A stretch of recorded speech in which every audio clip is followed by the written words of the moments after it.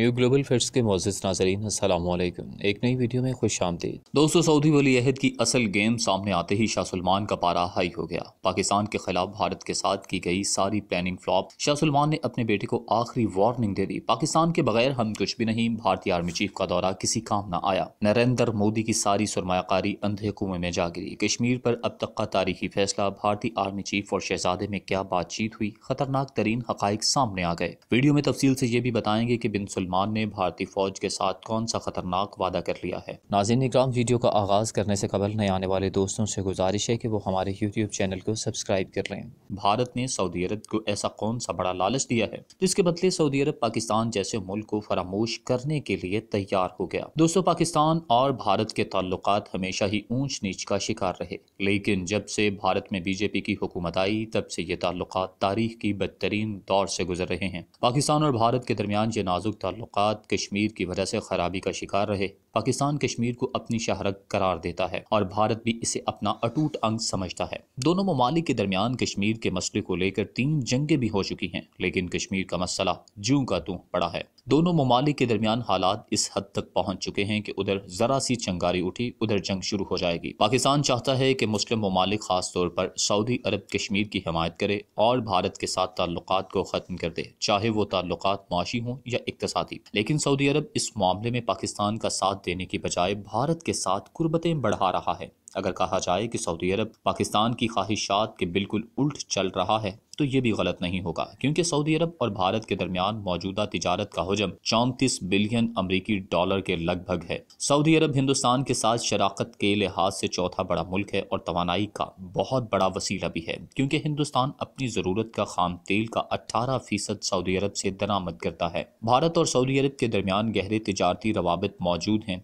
और सऊदी अरब भारत के लिए चौथा बड़ा तजारती शराकतदार है। नई दिल्ली तेल की बीस फ़ीसद ज़रूरत सऊदी अरब के तेल से पूरी करता है। गुजशत दो साल के दौरान भारत में सऊदी बरामदात का हजम एक अरब छियासी करोड़ डॉलर से तजावज़ कर गया था। सऊदी अरब में पैंतीस लाख भारतीय बशिंदे मुख्तलिफ़ शोबों में काम करते हैं। सऊदी अरब में भारतीय बशिंदे किसी भी दूसरी कम्युनिटी में सबसे ज़्यादा हैं। साल 2015 में भारतीय बाशिंदों ने 10 अरब 50 करोड़ का जर मुबादला अपने मुल्क को भेजा। दोनों मुल्कों के दरमियान बाहमी सकाफत, तजारती रवाबत के साथ साथ गहरे सियासी ताल्लुक भी कायम हैं। दोनों मुल्क एक दूसरे की खत्े में तस्वीराती अहमियत को तस्लीम करते हैं। दोस्तों मुतहदा अरब अमारात और सऊदी अरब ने इसराइल को तस्लीम करने के लिए पाकिस्तान पर जितना भी ज़ोर डाला, इसके पीछे भी किसी हद तक भारत का ही हाथ था, जिसका एक पहलू ये भी था कि पाकिस्तान को दिया गया सारा कर्ज वापस मांग लिया जाए। अब सऊदी अरब की जानब से बड़ी मसाजिद में नमाज़ की सदारत के लिए बतौर आयमा अपने शहरियों को मुलाजमत देने का फैसला किया गया है। दरअसल इसका मकसद दस लाख पाकिस्तानी मुसलमानों को सऊदी अरब में ज़रूरी खदमात में शामिल होने से रोकने के लिए ये फैसला किया गया है।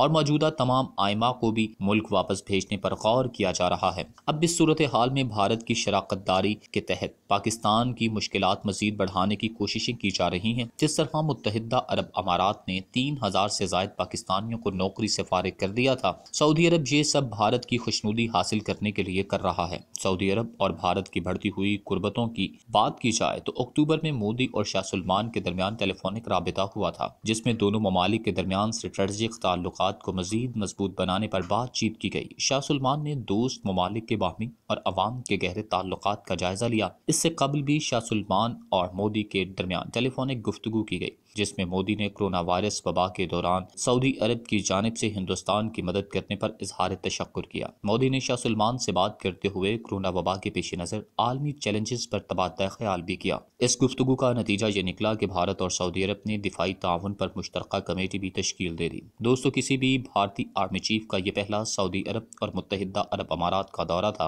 अब जबकि सऊदी अरब मुस्लिम दुनिया से आँखें फिर रहा है तो ऐसे में भारतीय आर्मी चीफ के सऊदी अरब के दौरे को लेकर इस्लामी दुनिया में तशवीश पाई जाती है। इन हालात में इसराइल का अरब ममालिक के साथ गुर्बतें बढ़ाना पाकिस्तान को शदीद परेशानी में डाल रहा है। अरब ममालिक का इसराइल की तरफ़ झुकाव, भारतीय फौज का सऊदी अरब में दाखिल होना और पाकिस्तान का सऊदी अरब से निकलना, ये सब एक सोचे समझे मनसूबे के तहत किया जा रहा है, जो एक एक बहुत बड़ी गेम है और इसके पीछे पाकिस्तान के दुश्मनों के खतरनाक अजायम छुपे हुए हैं। सऊदी अरब भी इन अजायम से वाकिफ है, लेकिन इसकी आँखों पर खुद गर्जी का पर्दा आ चुका है। असल कहानी इंतहाई होशरुबा है और भारत और इसराइल सऊदी अरब के ज़रिए अपने अजायम खत्े में पूरा करना चाहते हैं। मुतहदा अरब अमारात के पहले पाँच चीफ पाक फजाइया का अफसरान रहे। एक मुद्दत से पाकिस्तान सऊदी अरब को मामूल के मुताबिक फौजी और फजाइया के ट्रेनर मुहैया करता है। हज़ारों पाकिस्तानी फौजी शाही ममलकत में मौजूद हैं। इसके अलावा पाकिस्तानी कमांडोज रियाज में शाही ख़ानदान की हिफाजत के लिए भी मामूल हैं।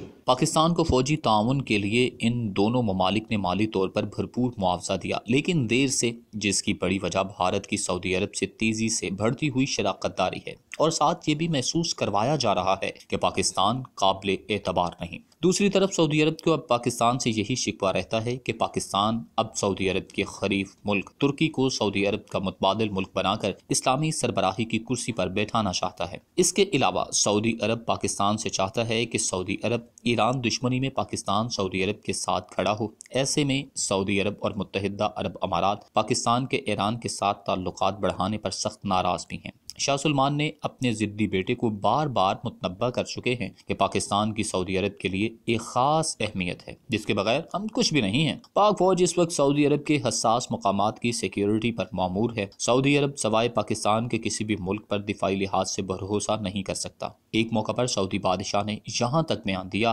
कि अगर सऊदी अरब एटमी ताकत नहीं भी तो हमें कोई खतरा दरपेश नहीं। पाकिस्तान का एटम हमारा एटम है। सऊदी अरब के हुक्मरानों को अच्छी तरह से पता है कि पाकिस्तान का कोई भी मुल्क नेमुल बदल नहीं हो सकता, क्योंकि पाकिस्तान और सऊदी अरब की आवाम के दरमियान जिस तरह से दिली वाबस्तगी का ताल्लुक मौजूद है, वो किसी और मुल्क की आवाम के साथ नहीं हो सकता। अलबत् अब शाह सलमान ने अपने बेटे को दो टोक अल्फाज में ये कह दिया है कि भारत सऊदी अरब के लिए किसी भी सूरत इस अहमियत का हामिल नहीं हो सकता, जो कि पाकिस्तान है। उन्होंने भारतीय आर्मी चीफ के हालिया दौरा सऊदी अरब और अमारात पर भी बात करते हुए कहा कि भारत सऊदी अरब के साथ जितनी भी कुर्बतें बढ़ा ले, लेकिन किसी भी सूरत वो पाकिस्तान की जगह नहीं ले सकता। पाकिस्तान के साथ सऊदी अरब की तारीखी कुर्बतें हैं और सऊदी अरब के दिफा में जिस तरह पाक फौज ने किरदार अदा किया इस तरह किसी दूसरे मुल्क की फौज पर एतमाद नहीं किया जा सकता। दोस्तों, ये भी एक हकीकत है कि सऊदी अरब, भारत 2018 से दोनों अफवाज के मबैन वक्त की सतह के दौरे हो रहे हैं। दोनों ममालिक पहले ही हिंदुस्तानी दिफाई तरबियती इदारों में रॉयल सऊदी मुसल्ह अफवाज के अफीसरान की तरबियत के लिए इतफाक़ राय कर चुके हैं। दोनों फरीकैन ने फौज के मुख्तलिफ़ शोबों के माबैन मुश्तर मशकें भी शुरू कर दी हैं। सऊदी अरब और भारत ने बर्री और ज़मीनी सप्लाई की तुर्की के लिए पेड़ पार्स की मुश्तर पैदावार में ताउन पर इतफाक भी कर लिया है। बहिरा हिंद और बहिरा अरब में सलामती को यकीनी बनाने के लिए बहिरा हिंद के दूसरे ममालिक के साथ मिलकर काम कर रहे हैं।